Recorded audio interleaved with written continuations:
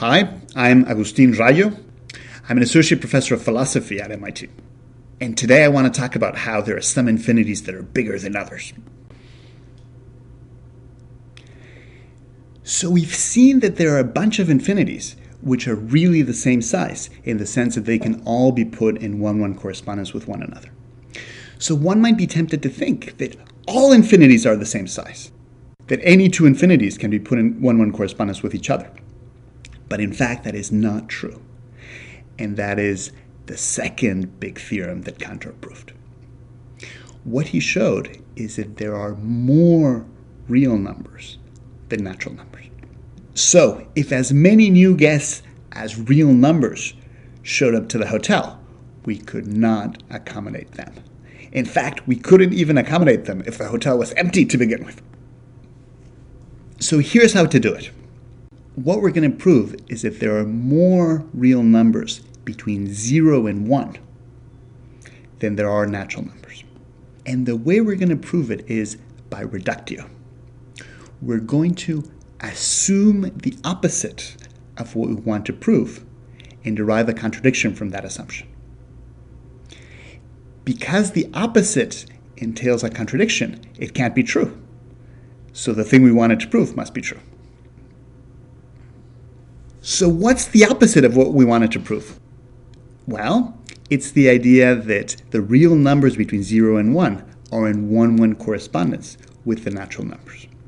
So, it means in particular that we can assign a different natural number to each real number between 0 and 1. So, assume that's true. Here's a diagram representing that. Each real number between 0 and 1 can be represented as a decimal expansion. You can write it as zero points and then an infinite sequence of digits. So suppose that we can assign a different natural number to each real number between 0 and 1. So here's an example of how that might go. To the natural number 0, we assigned this real number, and to the natural number 1, we assigned this real number, and so forth. Now, what we're going to do is we're going to use our list to create an evil number. And here's how we do it. First, we consider the diagonal, which is just a result of writing zero point and then the sequence of digits which we get from this diagonal here. And once we have the diagonal, we define its evil twin. The evil twin of the diagonal is the number that you get by writing a 7 whenever the diagonal had a 3, and writing a 3 whenever the diagonal had anything other than a 3. So here's how it would go. So here we have a 3, we write 7. Here we don't have a 3, we write 3. Here we have a 3, we write 7. Not a 3, we write 3. Not a 3, we write 3, and so forth. Cantor's observation is that the evil twin cannot be on our list. Why can't it be on our list? Well, it can't be the first member of our list because the first member of a list has a 3 in its first position, but our evil number has a 7 in that position. What about the second one? Well, it can't be the second one because the second one has something other than a 3 in its second position, and our evil number has a 3. And generally speaking, the evil number can't be in the nth position because whatever the number in the nth position has as its nth digit, the evil number will have something different. So here's what's happened. We've assumed for reductio that you can assign a different natural number to each real number between 0 and 1.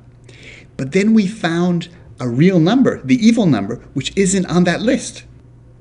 It contradicts our assumption that we really had assigned a natural number to every real number between 0 and 1. So our assumption must be false.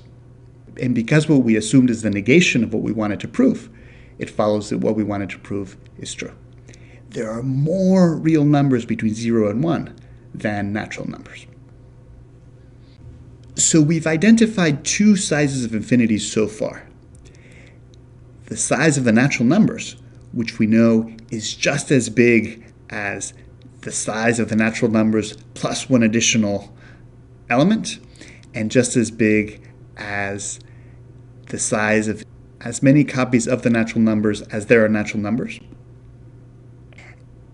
And we've identified a bigger size, the size of the real numbers between 0 and 1. Are there other things which are that bigger size? As it turns out, yes.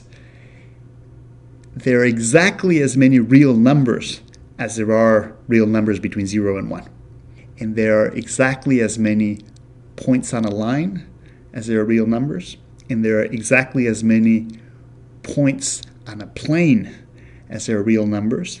And there are exactly as many points on a cube as there are real numbers. And there are exactly as many points in a hypercube as there are real numbers. So, is the infinity of the real numbers the biggest infinity there is? As it turns out, there are infinitely many sizes of infinity. Another thing Cantor proved is that whenever you have a set, the set's power set, in other words, the set of all subsets of the original set, is bigger.